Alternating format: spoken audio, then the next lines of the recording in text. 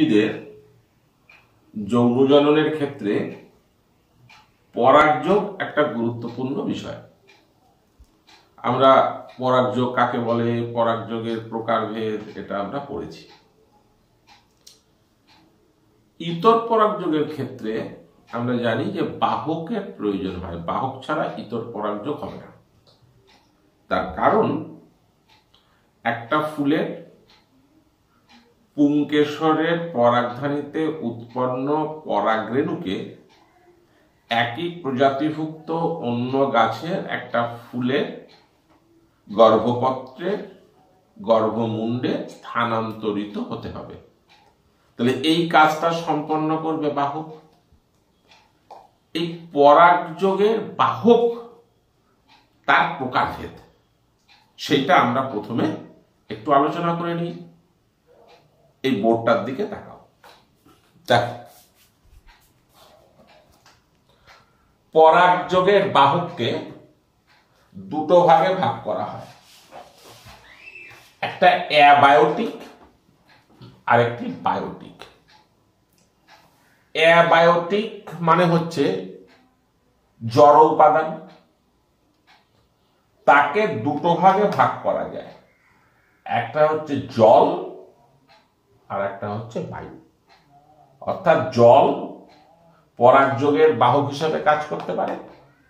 বায়ু সেও পরাগযোগের বাহক হিসাবে কাজ করতে পারে। বায়োটিক। এই বায়োটিককে আবার দেখো, ভাগ করা যায়। এর মধ্যে পড়ে পতঙ্গ। পতঙ্গ পরাগযোগের ক্ষেত্রে একটি গুরুত্বপূর্ণ ভূমিকা পালন করে।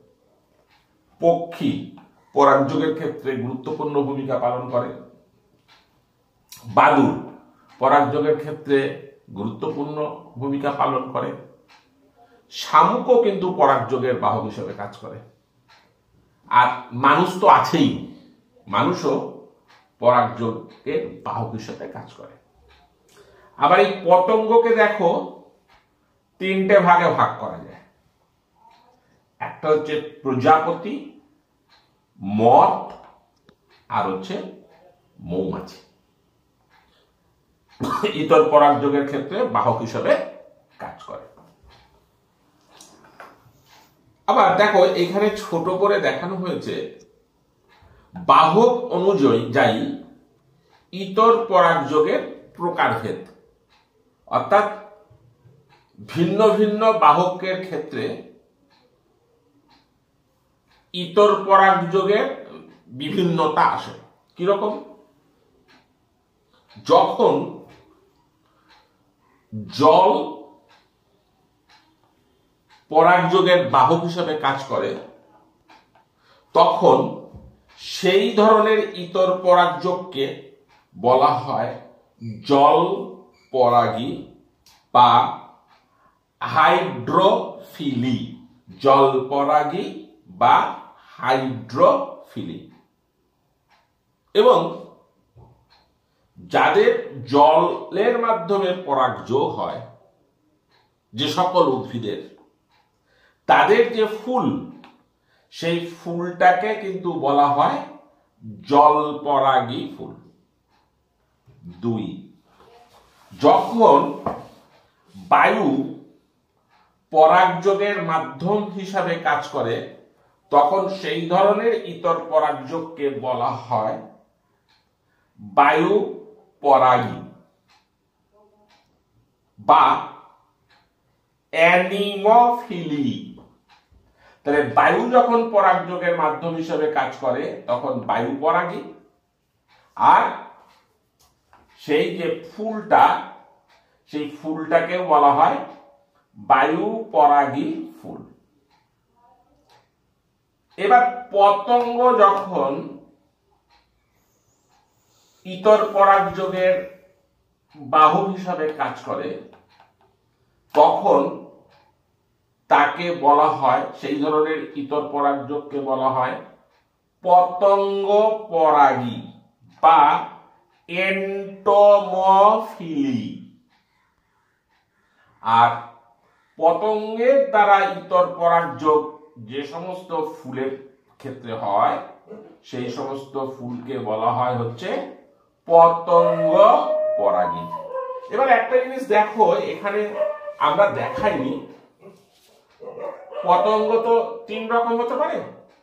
প্রজাপতির মাধ্যমে হতে পারে মথের মাধ্যমে হতে পারে, আবার মৌমাছির মাধ্যমে হতে পারে।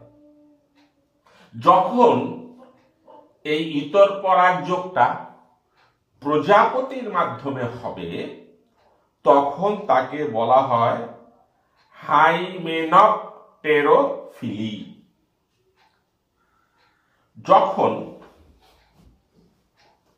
মথের মাধ্যমে ইতর পরাগযোগ হবে, তখন তাকে বলা হয় ফ্যালেনোফিলি যখন মৌমাছির মাধ্যমে ইতর পরাগযোগ হবে, তখন তাকে বলা হয় হচ্ছে সাইকোফিল। সবগুলোরই কিন্তু এই পতঙ্গ পরাগী বা এন্টো এন্টোমোফিল এবার দেখো,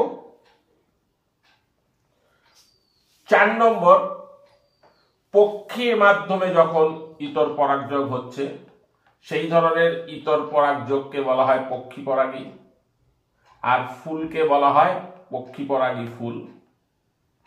অর্নিথোফিলি। বাদুর। এ যখন পরাগযোগের বাহক হিসাবে কাজ করে, সেই ধরনের পরাগযোগকে বলা হয় বাদুর পরাগী বা কাইরোপটেরোফিলি। ফুলটাকে বলা হয় বাদুর পরাগী ফুল। শামুক যখন ইতর পরাগযোগের বাহক হিসাবে কাজ করে, তখন সেই ধরনের ইতর পরাগযোগ হচ্ছে শামুক পরাগী বা মেলাকোফিলি। আর সেই ধরনের ফুলকে বলা হয় শামুক পরাগী ফুল। এইবার একটি গুরুত্বপূর্ণ বিষয়, দেখো। এই বায়োটিকের মধ্যে মানুষকে ফেলা হয়েছে। এই বায়োটিক পরাগযোগ এই বায়োটিককে বলা হয় কিন্তু জুফিলি আবার। পতঙ্গ, পক্ষী, বাদুর, শামুক। মানুষ যখন ইতর পরাগযোগের বাহক হিসাবে কাজ করে তখন তাকে বলা হয় হচ্ছে মনুষ্য পরাগী বা অ্যান্থ্রোপোফিলি। এইবার এই জায়গাটা একটু ভালো করে শুনে নাও। মানুষ ইতর পরাগযোগের বাহু হিসেবে কাজ করে সাধারণত দুভাবে। সাধারণ হচ্ছে, সাধারণভাবে একজন কৃষক যখন মাঠে কাজ করছে তখন কৃষকের পোশাক পরিচ্ছদে, কৃষকের হাতে পরাগরেণু লেগে যায়। এবার সেই পরাগরেণুগুলো ফুলের, স্ত্রী ফুলের গর্ভমুণ্ডে এসে পড়ে। এটা স্বাভাবিক পদ্ধতিতে হয়। কিন্তু যখন পতঙ্গের অভাবে ইতর পরাগযোগ বন্ধ হয়ে যায়। বর্তমানে কৃষি ব্যবস্থার এটা একটা চ্যালেঞ্জ কীট পতঙ্গের হার খুব দ্রুততার সাথে কমে যাচ্ছে। তোমরা জেনে অবাক হবে যে প্রতি দশ বছর অন্তর পঁচিশ শতাংশ করে পৃথিবীতে যত কীটপতঙ্গের প্রজাতি আছে, তার পঁচিশ শতাংশ করে নিশ্চিন্ন হয়ে যাচ্ছে, হারিয়ে যাচ্ছে, বিলুপ্ত হয়ে যাচ্ছে। এবং একটা গবেষণায় জানা গেছে যে একুশশো উনিশ সাল নাগাদ পৃথিবীর বুক থেকে প্রায় সমস্ত রকমের কীট পতঙ্গ হারিয়ে যেতে পারে। সাংঘাতিক অবস্থা হবে। এই আমাদের ওয়েস্ট বেঙ্গলে বেশ কয়েক বছর ধরে একটা ঘটনা ঘটছে। পটল চাষের ক্ষেত্রে। মাঠ ভর্তি পটল গাছ। গাছের স্বাস্থ্য ভালো। ফুল হচ্ছে, কিন্তু পটল হচ্ছে না। চাষিদের ক্ষতি হচ্ছে। দেখা গেল যে ওদের স্বাভাবিক যে পরাগযোগ কীটপতঙ্গের মাধ্যমে, সেই স্বাভাবিক পরাগযোগটা হচ্ছে না। তখন কৃষককে কৃত্রিম উপায়ে মানে মানুষ, কৃষক একজন মানুষ, তাকে কৃত্রিম উপায়ে ফুল থেকে পরাগ রেণু সংগ্রহ করে অন্য ফুলের পরাগধার এই, অন্য ফুলের, স্ত্রী ফুলের গর্ভমুণ্ডে সেই পরাগ দিতে হচ্ছে। তাহলে এই যে দ্বিতীয় ক্ষেত্রে কৃষক কি? কৃষক বাধ্য হয়ে সে ইতর পরাগযোগ ঘটাচ্ছে। তার জন্য আমি বলেছি যে মানুষ যখন ইতর পরাগ যোগের বাহক হিসাবে কাজ করে, অর্থাৎ অ্যান্থ্রোপোফিলি একটা স্বাভাবিক পদ্ধতিতে হয়, কৃষক কাজ করতে গিয়ে, মাঠে কাজ করতে গিয়ে ইতর পরাগ যোগ হয়ে যায়, আর একটা বাধ্য হয়। চীন দেশে এবং আরও অন্যান্য দেশে এই ঘটনাটা ঘটছে।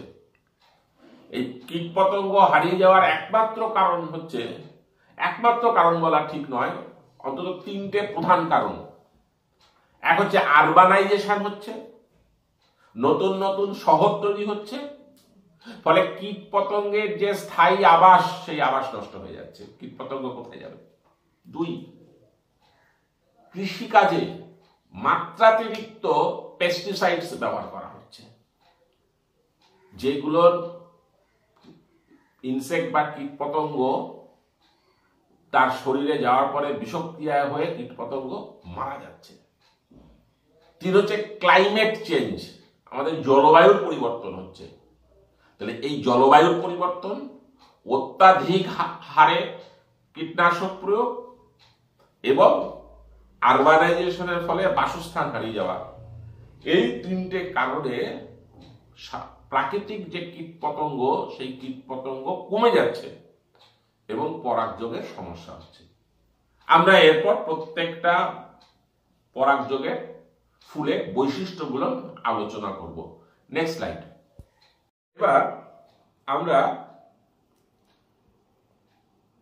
জল পরাগী ফুল মানে জল যখন পরাগযোগের বাহক হিসেবে কাজ করে, তখন তো সেটাকে জল পরাগী বলা হয়, আর ফুলটা হচ্ছে জল পরাগী ফুল। তার বৈশিষ্ট্য আমরা আলোচনা করব। বোর্ডের দিকে তাকাও। দেখো। জল পরাগী ফুল।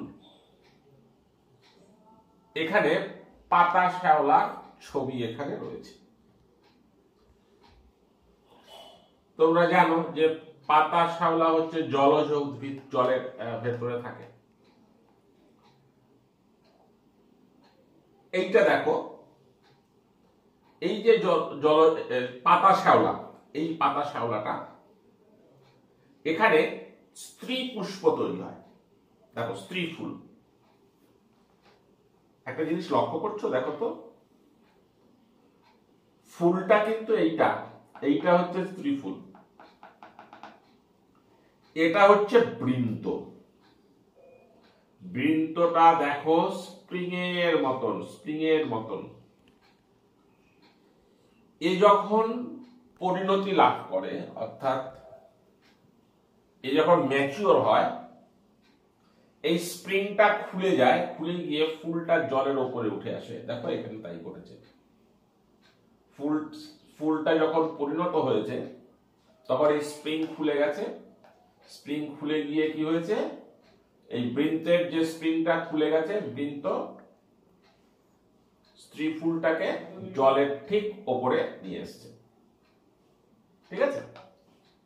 এখানে দেখো, এই যে পাতা শ্যাওলা উদ্ভিদটা, গাছটা এটা পুরুষ ফুল তৈরি করে, পুং ফুল। এই পুং ফুল যখন পরিণত হয়,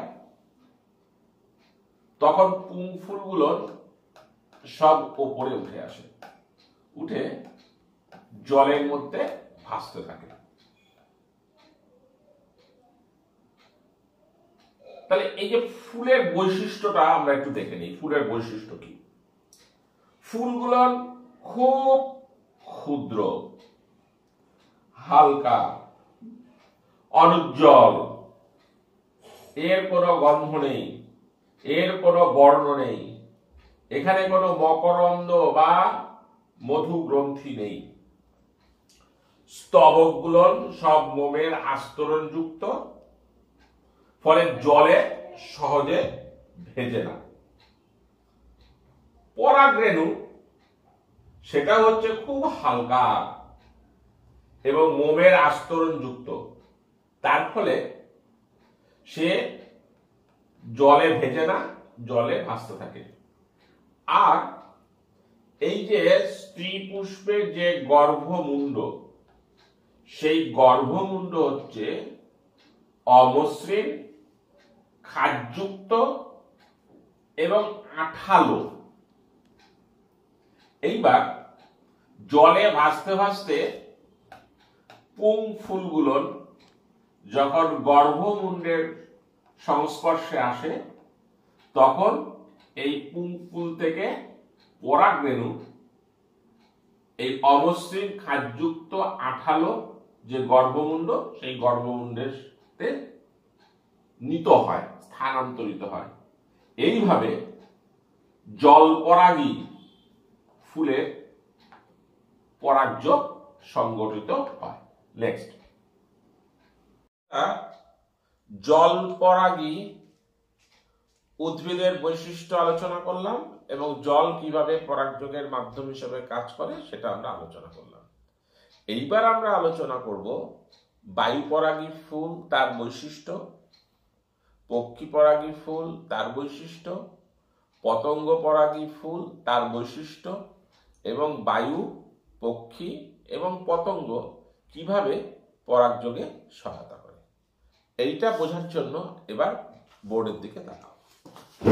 দেখো, এটা হচ্ছে বায়ু পরাগী ফুল।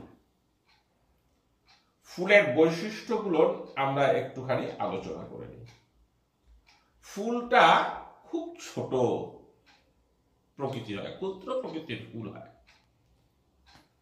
অনুজ্জ্বল বর্ণহীন বা সাদা রঙের। কোনো রূপ নেই, কোনো গন্ধ নেই, কোনো মধুগ্রন্থি বা মকরন্দ নেই। পর, এই দেখো এটা হচ্ছে পুংকেশর। পুংকেশরের পরাগ দ্বন্দ্বটা অনেক বড়। পরাগধানী বড় আকৃতি ভার্সেটাইল প্রকৃতি। এখান থেকে প্রচুর পরিমাণে পরাগরেণু উৎপন্ন হয় এবং বায়ুতে ঘুরে বেড়ায়। এই বায়ুতে ঘুরে বেড়ানো পরাগরেণুগুলো যাতে খুব সহজেই ধরতে পারে, তার জন্য দেখো এটা কিন্তু গর্ভমুণ্ড গর্ভপত্রের, এটা হচ্ছে গর্ভমুণ্ড, এটা হচ্ছে গর্ভদণ্ড, আর এটা হচ্ছে ডিম্বাশয়। দেখো, গর্ভমুণ্ডটা হয়েছে কীরকম? রোমস এবং পক্ষল প্রকৃতির। এইভাবে বায়ু পরাগী ফুল, এ হচ্ছে তার বৈশিষ্ট্য। সবচেয়ে সহজ উদাহরণ হচ্ছে ঘাস। ঘাসের ক্ষেত্রে বায়ু পরাগযোগের মাধ্যম হিসাবে কাজ করে। এইবার তোমরা এই পাশের ছবিটিটা দেখো। এখানে পক্ষী পরাগী ফুল দেখানো হয়েছে এবং পক্ষী পক্ষী বা পাখি কীভাবে পরাগযোগে সাহায্য করে তা বোঝানো হয়েছে। প্রথমে আমরা ফুলটা দেখি। ফুলটা দেখো, অনেক বড়। উজ্জ্বল বর্ণের, রঙিন বর্ণের, যাতে সহজেই পাখি আকৃষ্ট হয়। ফুলের ভেতর মকরন্দ বা মধুগ্রন্থি আছে, যার লোভে পাখি মধু খেতে আসবে। আবার এদের পরাগধানীটাও অনেক বড় হয়, সুমিষ্ট হয়। পাখি এই পরাগধানীকেও খাদ্য হিসাবে গ্রহণ করে। এবার দেখো, এই পাখি তার লম্বা ঠোঁট, লম্বা ঠোঁটটা এই পাপড়ির ভেতর দিয়ে ঢুকিয়ে দিয়েছে। সম্ভবত ও একটু মধু খুঁজছে, মধু খাবে। ঠিক সেই সময় দেখো, এই যে পরাগধানী, এই যে পরাগধানী পরাগধানী পরাগরেণু এই পাখির গায়ে কিন্তু লেগে গেছে। আর এইটা ছিল কিন্তু গর্ভ পত্রের এটা হচ্ছে গর্ভদণ্ড আর এটা হচ্ছে গর্ভমুণ্ড।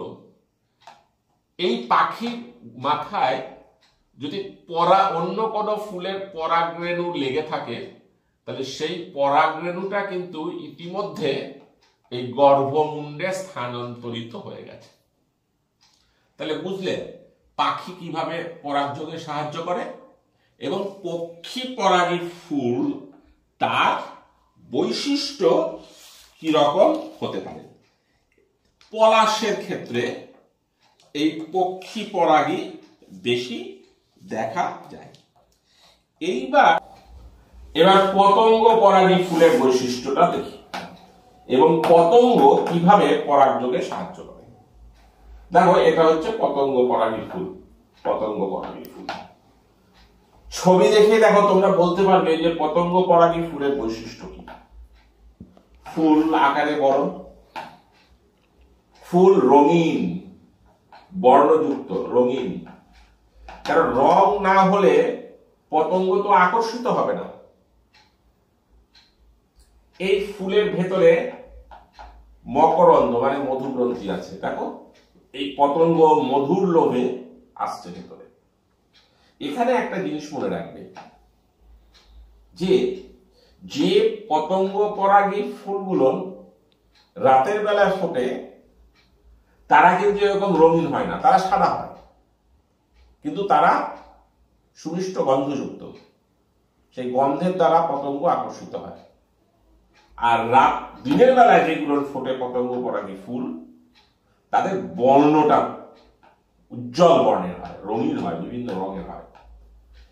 এইটা কি বলতো? এইটা হচ্ছে ফুলের গর্ভপত্রটা। এই গর্ভাশয়, এই হচ্ছে গর্ভদণ্ড আর এই হচ্ছে গর্ভমুণ্ড। আর এইটা কি বলতো? এটা হচ্ছে পুংকেশর বা স্ট্যালেন এটা হচ্ছে পুং দণ্ড আর এটা হচ্ছে পরাগধানী। এখানে ডট ডট ডট ডট করা হয়েছে কেন বুঝতে পারছ? আসলে এটা তো পাপড়ি। ফুলটা একটা ঘণ্টার মতন আকার তৈরি করেছে। এই অংশটা ভেতর দিয়ে গেছে। এখানটা দেখলে পরিষ্কার বোঝা যাবে। দেখো, এই পতঙ্গ মধুর লোভে এই পাপড়ির এই যে অংশটা, একটা ল্যান্ডিং এরিয়া এই ল্যান্ডিং এরিয়াতে ল্যান্ড করেছে।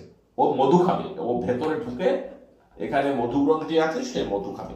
দেখো, যেই ও বসেছে এই যে পুংদণ্ড আর এই যে পরাগধানী, তাহলে এই ফুলের পরাগধানীতে যে পরাগরেণু উৎপন্ন হয়েছে, সঙ্গে সঙ্গে এই পতঙ্গের ডানায় লেগে গেল।